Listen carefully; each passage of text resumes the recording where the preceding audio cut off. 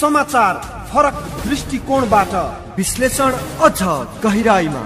विषय राजनीति होस् या अर्थ वा सामाजिक तर हामी उठाउँछौ सिंहदरबारदेखि दूर दराजका विषय नेता र नेतृत्वसँग प्रत्यक्ष सिधा सवाल जवाब। कार्यक्रम सिटिजन हार्ट टक एउटा फरक दृष्टि र कोण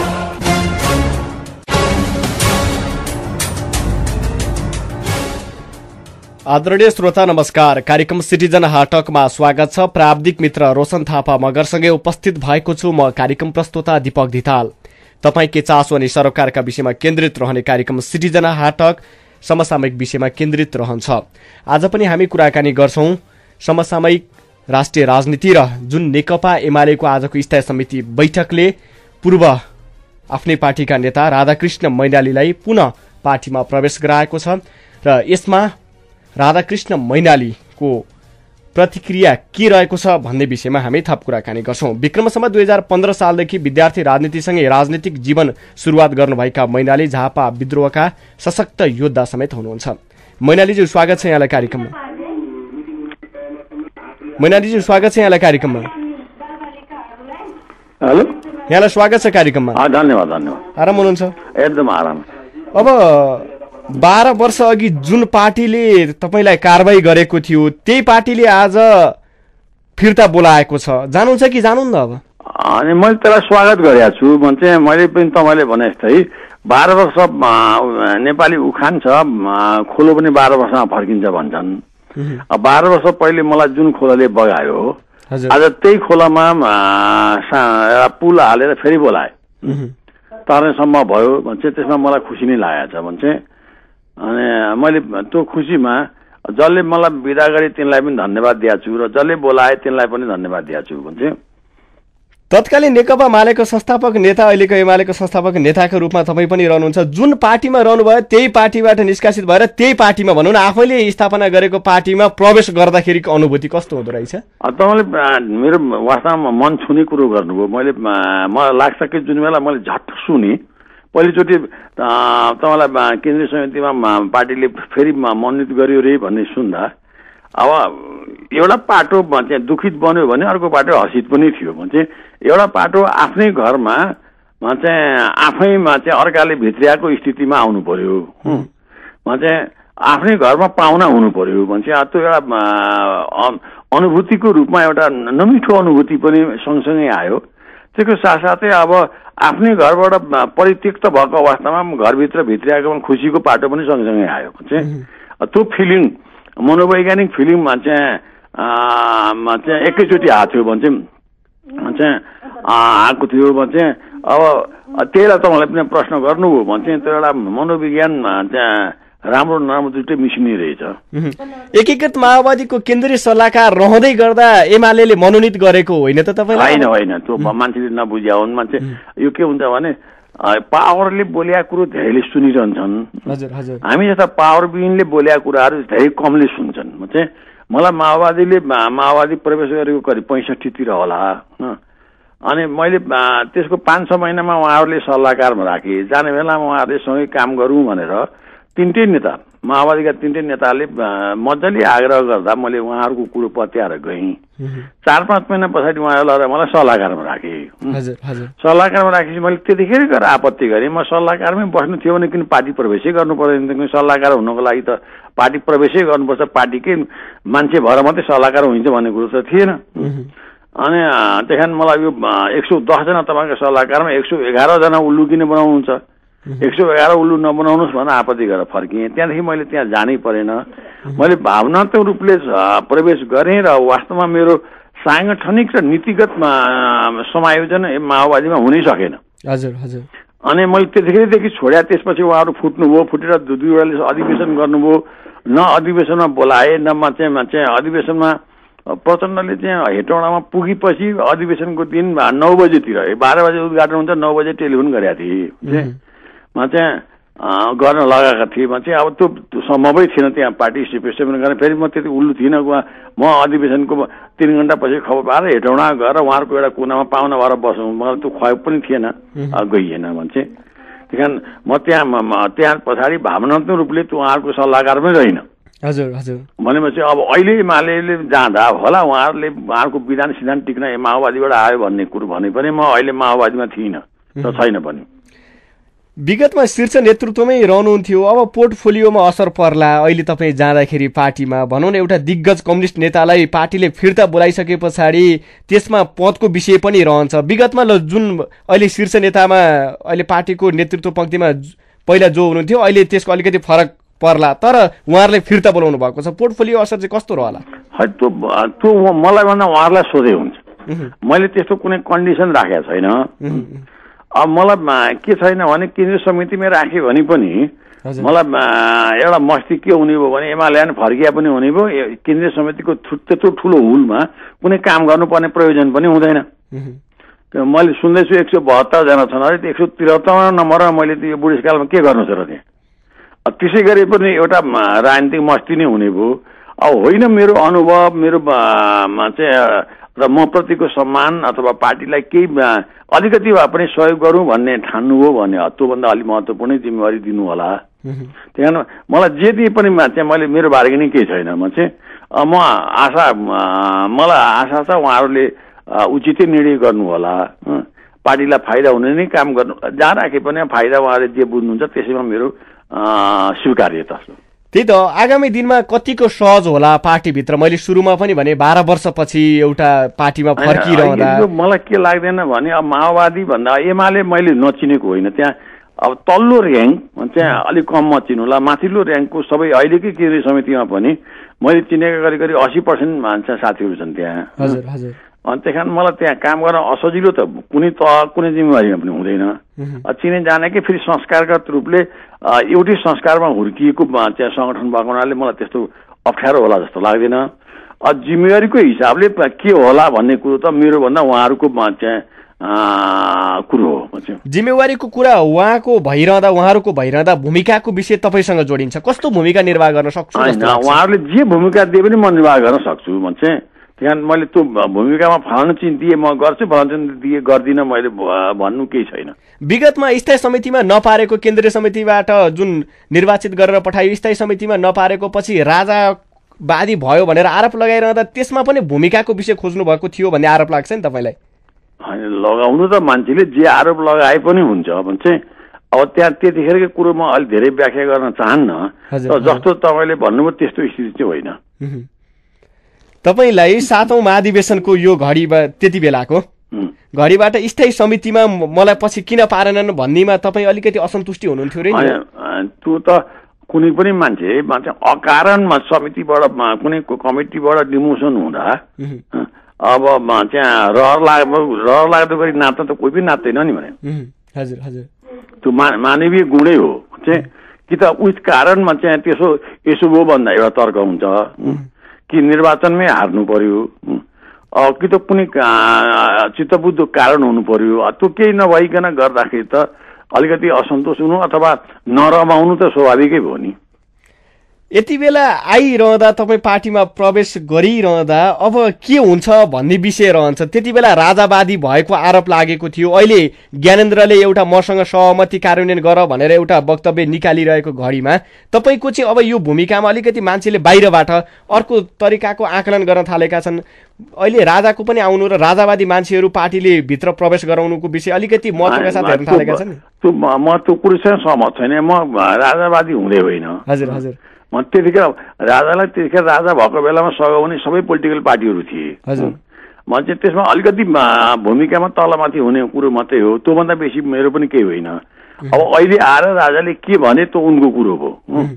म चाहिँ अब म- दर दरबारको म- चलन बुझ्नेहरूलाई के थाहा छ भने दरबारले अरू कोहीसँग सल्लाह गर्दैन राजाले कसैसँग सल्लाह गर्ने आफै बुद्धिले गर्ने हो। उनी हिजो राजतन्त्रमा राजाकै बुद्धिले जे गरे उनकै बुद्धिले गरे हो। त्यो अब यो अहिले उहाँले जे वक्तव्य दिएको छ त्यो त्यतिखेर मेरो चाहिँ जानकारीमा केही छैन। मैले जानकारीमै नभएको विषयमा मैले टिप्पणी गर्नु त्यति बेलाको आर्टिकल अलिकति पहिलाको विषयमा लगेँ त्यति बेलाको आर्टिकल जुन तपाईँले लेख्नु भएको र पार्टीभित्रको त्यो विवादले गर्दाखेरि त्यहाँबाट निस्किसकेर तपाईँ राजावादी भनौँ न मन्त्री हुन चाहिँ किन पुग्नु भयो त्यति त्यतिखेरको सम्झना बताउनु त्यो सम्झनामा मलाई लाग्छ त्यो म प्रतिको निष्कासन र राजाको क्याबिनेट मैले सघाउन जाने कुरो एउटै कुरो थिएन। त्यो पछि आएको कुरो हो त्यो एज ए नागरिकको कुरो मैले पछि गरेँ। पहिले त्योभन्दा एक डेढ वर्ष पहिले नै मलाई पार्टीले म चाहिँ विभिन्न कुरो लगाएर म चाहिँ अब त्यतिखेरको नेतृत्वले त्यही उचित ठान्यो मलाई निकाल्यो। हजुर चाहिँ मेरो इमान्दारी मनले के भन्छ भने त्यो निकाल्ने कुरो र पछि राजाको क्याबिनेटमा जाने कुरोसँग तालमेल छैन। तर अहिले अब पार्टीभित्र जुन आफ्नै पहिलाको पार्टी छोडेर अरू पार्टीमा लागेर फेरि यही पार्टीमा फर्किनु भएका तपाईँहरू अझ विजय सुब्बालाई नै आज मनोनित गर्दा त्यहाँ पार्टीभित्र एउटा विवादको बिजारोपण पो हुने हो कि अहिले भएका केन्द्रीय सदस्य अरू नेताहरूबीच कसरी हेर्नु भएको छ यसलाई अनि? मलाई त्यस्तो लाग्दैन। चाहिँ अब के हुन्छ त्यो त पछिको कुरो हो। सबै कुरोको विश्लेषण त म अहिले नै गर्न सक्दिनँ। आकलन त गर्न जहाँसम्म। मलाई लाग्छ त्यस्तो हुँदैन। किन? त्यहाँ पनि विभिन्न कोण छोडले हिँड्ने अब राजनीतिक स्वार्थ राजनीतिक ग्रुपले राजनीतिक गुटको कारणले मान्छेलाई त्यहाँ गुटका गतिविधिमा बाँधिसकेपछि जोडिसकेपछि अब जोडियो भने। मान्छेले विभिन्न तर्क वितर्क गर्नु एउटा कुरो हुन त राजनीतिमा के हुन्छ भने आफ्नो पक्षमा नहुँदा विभिन्नमा चाहिँ खोचे थाप्ने प्रवृत्ति राजनीतिका गुणै हुन्। चाहिँ त्यस बापतमा के हुनु बेग्रे कुरो तर जहाँसम्म मलाई लाग्छ त्यस्तो नहोला किन अब राजनीतिलाई समेटेर किन देशको राजनीति सजिलो ठाउँमा छैन। एमाले सबै आफ्ना वरिपरिका मित्रहरूलाई समेटेर आपसको विवादलाई पनि कमजोर पार्दै गएर देश हाँक्नुपर्ने अहिलेको अवस्था छ। त्यसो नगरेर आपसमै मारामार गर्ने हो भने त त्यो देशकै दुर्भाग्य हुन्छ। केपी ओलीका सहयात्रीका रूपमा झापा आन्दोलनमा जुन तपाईँको भूमिका रह्यो अहिले सँगसँगै एकीकृत माओवादीको शीर्ष नेतृत्वमा नै तपाईँले केही समय बिताउनु भयो फेरि एकीकृत माओवादीबाट फर्केर छोडेर अहिले एमालेको यो पदमा आइरहँदा केपी ओली शीर्ष पदमा हुनुहुन्छ पार्टीभित्रको। अब तपाईँ एउटा कम्युनिस्ट दिग्गज कम्युनिस्ट नेता भएको नाताले मुलुकको यो संक्रमण काललाई अन्त्य गर्नको लागि कस्तो भूमिका निर्वाह गर्न सक्नुहुन्छ राष्ट्रिय अहिले होइन म पार्टीले निर्णय गरेर बल्गु पुगेकै छैन। म धेरै भविष्यवाणी अहिले गर्न चाहन्न। हजुर हजुर। मेरो बुद्धिले भ्याएसम्म देश र जनताको हितमा पार्टीलाई सघाउने काम गर्छु। त्योभन्दा बेसी मसित अहिले कुनै अर्को नयाँ आइडिया छैन किन? अब अहिले वास्तवमा तपाईँले भने बाह्र वर्षमा त्यहाँका नेताहरू जो मैले बाह्र वर्ष पहिले मसँग सङ्गत भएका नेताहरूको चिन्तन क्षमता बुद्धि कसरी विकास भएछ? त्यो त मैले त्यहाँ गएर अहिले फेरि त्यहाँ त्यसबारेमा सोच्ने र सिक्नुपर्ने अवस्था छ। अनि त्यही कारण उहाँहरूको चिन्तन सोचमा म एडजस्ट हुँदै अगाडि जानुपर्ने अवस्था छ। किन मलाई के लाग्दैन भने मैले उहाँहरूलाई घुमाउने होइन कि उहाँहरूको वरिपरि मैले घुम्नुपर्ने स्थिति छ। भन्छ त्यो रियालिटीलाई म स्वीकार्छु। भन्छ यी सबै कुरो नबुझिकन मैले अब यो भूमिका खेल्छु भनेर अहिले नै भन्नु अलिक समयभन्दा धेरै पहिले हुन्छ। केही समय अगाडि हामीले तपाईँसँग यही कार्यक्रमबाट कुराकानी गर्दाखेरि म एकीकृत माओवादीमा छु पनि छैन पनि भन्ने एउटा खालको अभिव्यक्ति थियो। अब एमालेमा फेरि त्यस्तो हुने पो हो कि? यो पछिको बारे मलाई त्यस्तो त लाग्दैन। तपाईँले भने जस्तो अ, धारीमा हात लगाउने पनि थुप्रै पनि होला नि त्यस्तो नहोला। हजुर। अब मलाई जहाँसम्म लाग्छ म चाहिँ अब सबै मिलेर देशलाई सङ्कटबाट उकास्ने पार्टीलाई बलियो बनाउने काममा लाग्नुपर्ने अहिलेको आवश्यकता हो। त्यही मनसाय राखेर मैले दोहोरो रूप लिएर अहिलेसम्म कुनै पनि पोलिटिक्स जान्न झापा आन्दोलन न पछि छत्तिस छयालिस सालको जनआन्दोलन न त्यसभन्दा पछाडिका गतिविधिहरू मैले काहीँ दोहोरो भूमिका खेलेको छैन। हजुर हजुर। माओवादी प्रवेशमा मैले जे लागेको थियो लागेर गएँ मेरो मेरो कुरो त्यहाँ भएन त अर्कै कुरो भयो। राजाको क्याबिनेटमा जाँदा पनि वास्तवमा मैले त्यसको यो द्वन्द्वलाई समाप्त पार्न राजालाई सघाउनै गएको हो। म चाहिँ राजाले त्यो सहयोग लिएन त अर्कै कुरो भयो। म चाहिँ अब अहिले चाहिँ यहाँ पनि म मेरो मनले दिलदेखि नै म चाहिँ एमालेलाई योभन्दा शक्तिशाली बनाऊ भनेर त्यहाँ गएको छु। म चाहिँ त्यो शक्तिशाली भनेको देश र जनताको हितमा यो धेरै स्वयंसेवी हुन सकोस् धेरै सहकार्य गर्न र त्यसको नेतृत्व गर्न सफल होस् भन्ने मेरो म चाहना हो। त्यो चाहनामा चाहिँ तुषारपात हुन्छ भन्ने कुरो मलाई अहिले त लाग्दैन। मैले दोहोरो कुरो गरे पनि छैन। अब भोलि गर्दा गर्दै मैले चिताएको कुरो पनि नहुने स्थिति पनि आउन सक्ला त्यो अर्को कुरो हो। तर मेरो चाहना चाहिँ त्यस्तो होइन। मैनालीज्यू अब आफूले स्थापना गरेको यो एउटा पार्टी संस्थापक नेता जुन आन्दोलन गरेर पार्टी स्थापनाको अगाडि चरणहरू बढे तर त्यो पार्टीबाट बाह्र वर्ष बाहिर रहिरहँदा त्यो पार्टीको बारेमा कसरी विश्लेषण गर्नुहुन्थ्यो कस्तो हुँदो रहेछ आफ्नो घरबाट बाहिर रहँदा? यो त मैले धेरै ठाउँ भन्ने गरेको छु किन?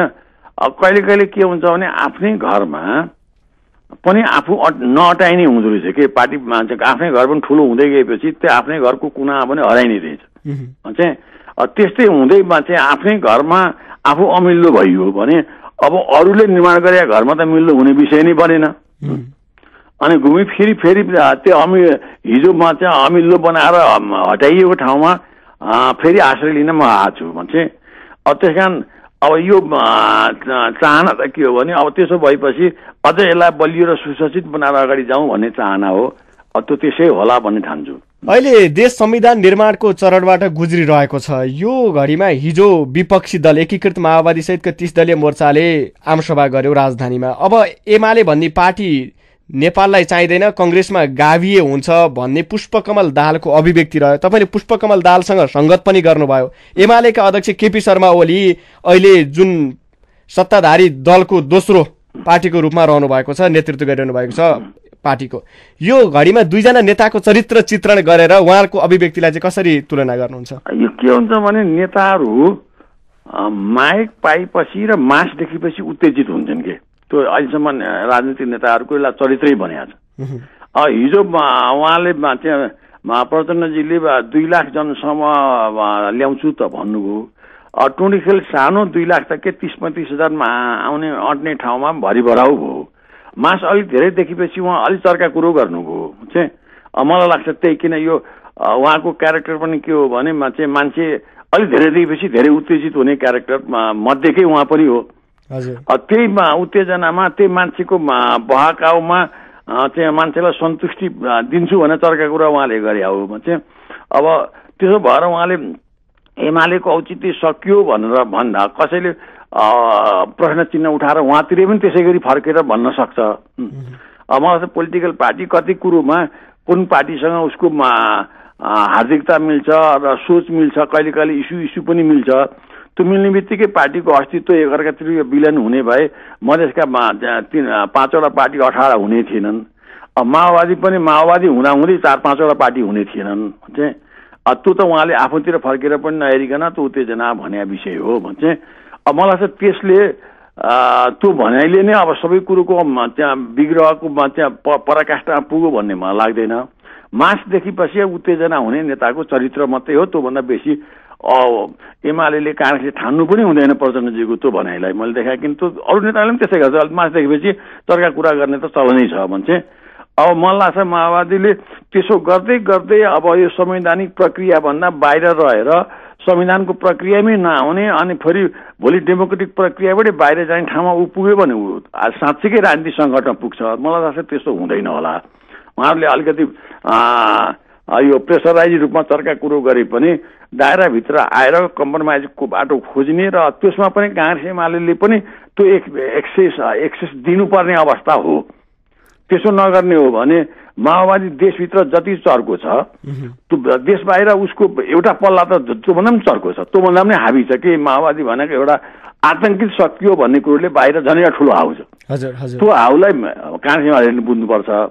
अनि त्यो हाउ मात्रै हो। म चाहिँ यो चर्को कुरोले धेरै दिन टिकिँदैन भन्ने कुरो त माओवादीले र मधेसवादी दलले पनि बुझ्नुपर्छ। अब सहमति निर्माण गर्ने आधार के हुन सक्छ? अहिलेको जुन विवाद अन्त्य गरेर संविधान निर्माणको चरणमा अहिले त संवादहीनताको अवस्था छ दलहरूभित्र। संवादको वातावरण वार्ताको टेबलमा बसेर निकास खोजिने एउटा वातावरणको बाटो कुन हुन सक्छ तपाईँको विचार? वार्तामा बस्ने हो भने अहिले पनि मलाई के लाग्छ भने जे जे कुरो भनिया छ जस्तो यहाँ सैद्धान्तिक रूपले संहिताको पक्षमा सबै छन्।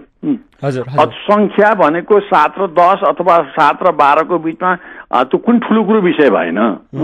तर मैले समस्या चाहिँ के देखिया के हो भने अब मधेस मधेस एउटा बनाउने पाहाड पाहाड एउटा बनाउने कुरो वास्तवमा यो राष्ट्रको दुर्गामी रूपमा नकारात्मक असर पार्ने विषय हो। हजुर। मलाई लाग्छ यसमा राष्ट्रिय राष्ट्रियतालाई ध्यान दिएर देशको भोलिको भविष्यलाई हेर्ने हो भने पहाड पनि चाहियो तराई पनि चाहियो। यसलाई मिलाएर लाने खालको सोचमा चाहिँ आउने हो भने यी तिन चार चारवटै पार्टीको बिचबाट एउटा समस्या ननिक्लि समाधान ननिक्लिने विषय नै भन्दैन। चाहिँ समाधान नजिक छ। तर अब यो अरब किन किन भइरहेछ? राष्ट्रकै उन्नतिको बारेमा किन सोध्दैनन् मैले अलि- यो पहिले पनि धेरैचोटि मैले भनेको थिएँ।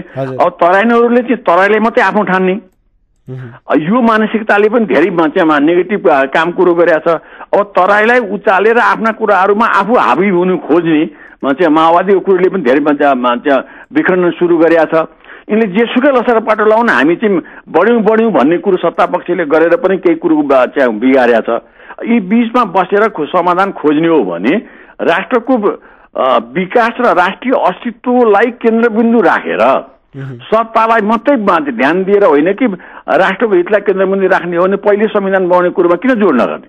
हजुर। फेरि संविधान बनिसकेपछि चेन्ज हुनै नहुने विषय त छैन। संविधान चेन्जेबल हुन्छ। यी सबै कुरो जाने हो भने चारवटै शक्तिले अ, राखे अडानमा कम्प्रोमाइज नलिनु परेको कुनै कुरो छैन। हुँ। अब अब होइन अब कम्प्रोमाइजै खोज्दिन भन्यो भने त त्यसले चाहिँ अन्तर्ध्वंस ल्याउँछ अगाडि। त्यसले कक्कललाई कहाँ पुर्याउँछ त भन्न सकिँदैन। हुन्छ कुराकानीलाई निरन्तरता दिन्छौँ छोटो विश्रामपछि पुनः जोडिनेछौँ हामी। आदरणीय श्रोता राधाकृष्ण मैनालीसँग हामी कुराकानी गरिरहेका छौँ। नेकपा एमालेको स्थायी समिति बैठकले उहाँलाई आज पुनः पार्टीमा प्रवेश गराएको छ। उहाँ पार्टीका पूर्व नेता हुनुहुन्थ्यो। उहाँ एकीकृत माओवादीको केन्द्रीय सल्लाहकार रहनुभयो र राजाको प्रत्यक्ष शासनकालमा उहाँ मन्त्री बन्नुभएको थियो। पार्टीले आजभन्दा बाह्र वर्ष अगाडि कारवाही गरिसके पछाडि आज बाह्र वर्षपछि पुनः पार्टीमा फर्किरहँदाको अनुभव र राष्ट्रिय राजनीतिका विषयमा केन्द्रित रहेर आरके मैनाली अर्थात् राधाकृष्ण मैनालीसँग बहस केन्द्रित छ। तपाईँको प्रश्न सडचालिस एक्काइस आठ चौरानब्बेमा यो ब्रेक पछि पक्का पक्की कलर्स मोबाइल पक्का पक्की। होइन केमा? अन्नपूर्ण पोस्टमा हजुर साप्ताहिक लकी ड्रमा सिको हाते घडी उपहार। अन केमा? अन्नपूर्ण पोस्टमा हजुर बयालिस इन्चको एलइडी टिभी हरेक महिना उपहार। होइन केमा? अन्नपूर्ण पोस्टमा हौ Annapurna T shirt movie ticket music CD र तीन महिनाको सब्सक्रिप्सन हरेक दिन हरेक हप्ता। सिको क्रोनोग्राफ घडी हरेक महिना forty two inch LED TV र वार्षिक ग्राहक बन्दा पाउनुहोस् कलर्स मोबाइल पक्का पक्की। विस्तृत जानकारीका लागि अन्नपूर्ण पोस्ट पढ्नुहोला अन्नपूर्ण पोस्ट खबर सम्पूर्ण उपहार भरिपूर्ण। यदि पहाडलाई देखेर तपाईँलाई हाम फाल्न मन लाग्छ भने यदि तपाईँलाई रोड रोड होइन रनवे लाग्छ भने यदि तपाईँलाई भर्याङबाट होइन झ्यालबाट ओर्लिन मन लाग्छ भने यदि तपाईँ गाडी चलाउन होइन उडाउनेमा विश्वास राख्नुहुन्छ भने तपाईँको लागि ल्याएका छौँ नयाँ Hero Xtreme. Extreme style extreme fun र एक्सट्रिम एडभेन्चरको साथ यसलाई भन्छन् एक्सट्रिम बाइकिङ। Hero extreme. जीवन जियौं साहसको। Needs professional guidance to study in New Zealand? New Zealand. From IELTS preparation to New Zealand visa, trust Rohini to lead you best. Get guidance from certified New Zealand specialist agents. Contact Rohini International Education Services, Shankardev Campus Road, Kathmandu. Phone, 4244 4244 711. email. Info at rohini.edu.np. Think New Zealand. Think Rohini. Korea जाने होइन त? तपाईँको Korea जाने सपना साकार पार्छ अब उरीले। उरी? हो उरी कन्सल्टेन्सीले कोरिया जाने सपना साकार पार्छ। सस्तो होइन राम्रो खोजौ। विगत नौ वर्षदेखि अध्यापन गराउँदै आउनु भएका अनुभवी भाषा प्रशिक्षक घले सर र उदय सरद्वारा अध्यापन गराइने। विगतका परीक्षाहरूमा उत्कृष्ट नतिजा ल्याउन सफल। हरेक हप्ता प्र्याक्टिस एक्जाम गराइने अडियो भिडियोको माध्यमद्वारा पढाइ हुने। थप जानकारीका लागि उरी कन्सल्टेन्सी सामाखुसी चोक टोखा जाने बाटो। फोन त्रिचालिस एकाउन्न सात सय नौ। त्रिचालिस एकाउन्न सात सय नौ। यहाँ जापानको अक्टोबर सेसनको लागि तयारी कक्षा धमाधम हुँदैछ। श्रम सिप कला र कौशल अद्वितीय हुन्छन्। आउनुहोस् यसलाई नजिकबाट अवलोकन गरौँ। नेपाली छाला जुत्ता तथा वस्तुहरूको चौथो बृहत राष्ट्रिय छाला जुत्ता तथा वस्तु प्रदर्शनी दुई हजार एकहत्तर। स्थान भ्रिकुटी मण्डप मिति फागुन तेह्रदेखि उन्नाइस गतेसम्म। आयोजक नेपाल छाला जुत्ता उत्पादक संघ gold sponsor Citizen footwear sponsor Paragon footwear को sponsor SK shoes star leather shoes चकुल shoes Prism footwear success shoes leather T shirt र म्याजिक चप्पल कला र कौशल हाम्रो नेपाली ब्रान्ड नै राम्रो So what if it's not your birthday? So what if it's not your 10th year together? So what if there's nothing special going on? Gifts are always fun and for you and for everyone. Guaranteed gifts on every purchase of Samsung Galaxy Note 4. Get awesome gifts like Samsung Smart TVs, tabs, Samsung Gear S, Bluetooth speakers, Samsung vacuum cleaner, gold or cash. नवीनतम banking सेवा दिने हाम्रो bank आठ भरोसा पुरा गर्न साथ दिने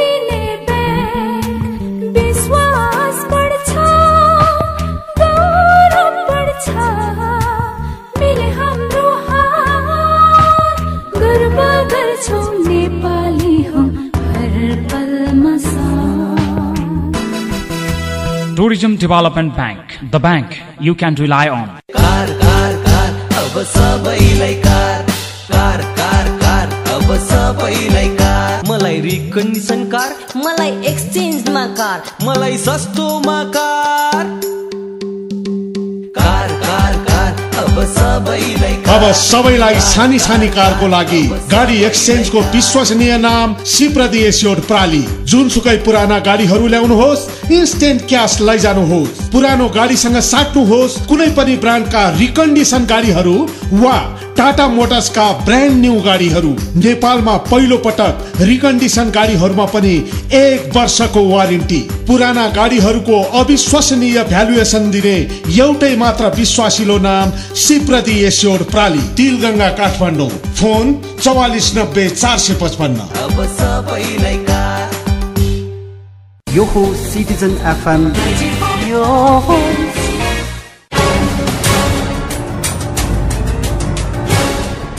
ब्रेकपछि पुनः स्वागत छ आदरणीय श्रोता। कार्यक्रम सिटिजन हाटक सुनिरहनु भएको छ। देशभरिका विभिन्न radio station Citizen FM dot com र सिटिजन नाइन्टी फोर एफएमबाट आज हामी कुराकानी गरिरहेका छौँ राधाकृष्ण मैनालीसँग जसलाई आज एकीकृत ने एकीकृत नेपाल कम्युनिस्ट पार्टी एमाले रहेको छ।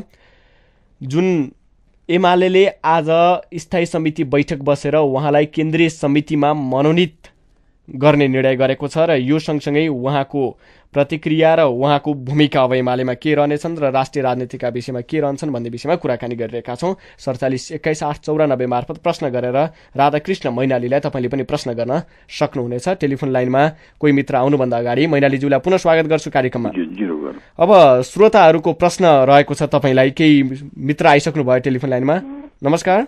नमस्कार। यहाँको शुभ नाम? म छवि रमण अधिकारी सिनामगलबाट। प्रश्न राखिदिनुहोस्।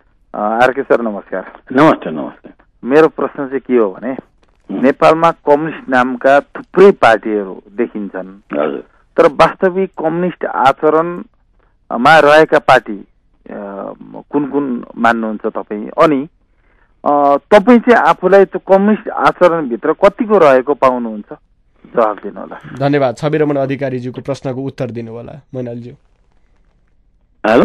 हजुर छविरमण अधिकारीज्यूको प्रश्नको उत्तर दिनु होला यो यहाँले भने कुरो ठिकै हो। देशमा धेरै कम्युनिस्ट पार्टीहरू छन्।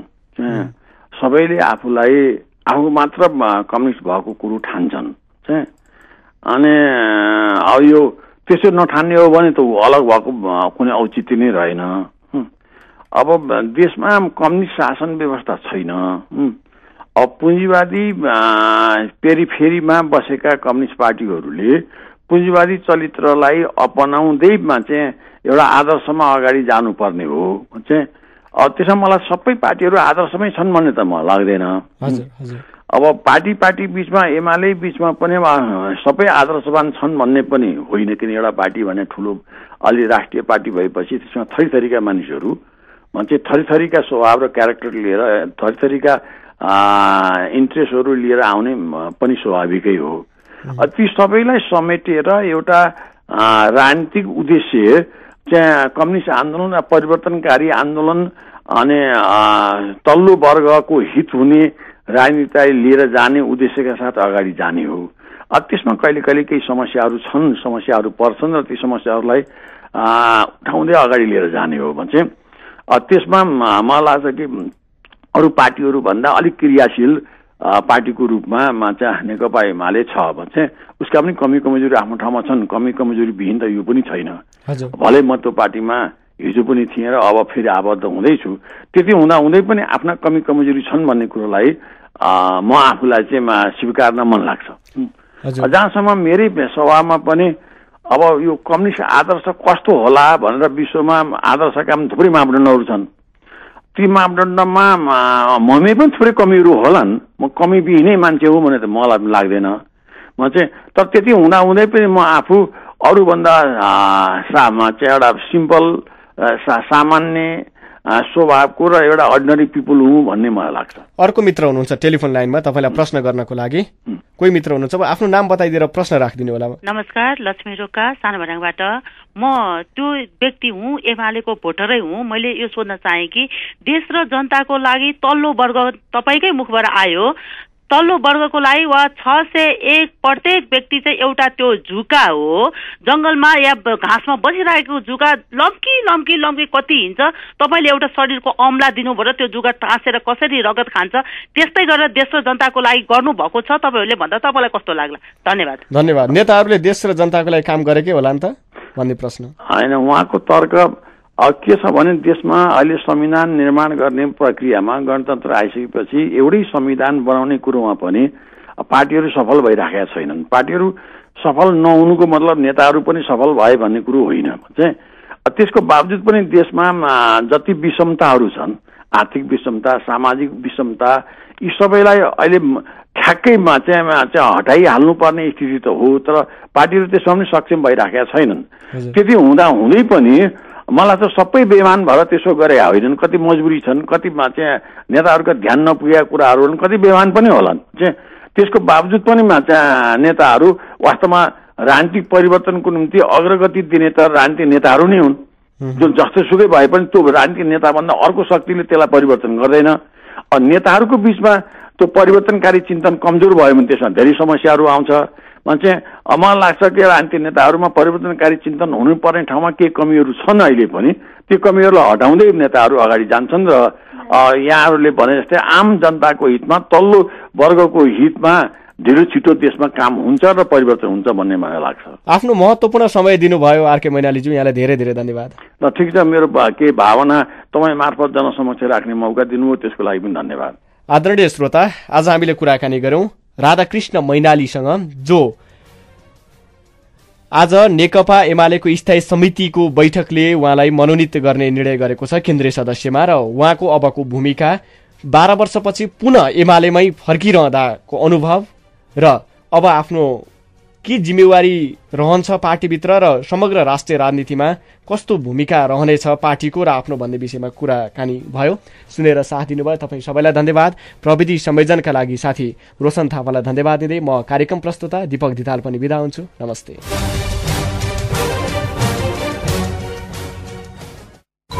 Citizen Break. ए बिनी म त पढ्न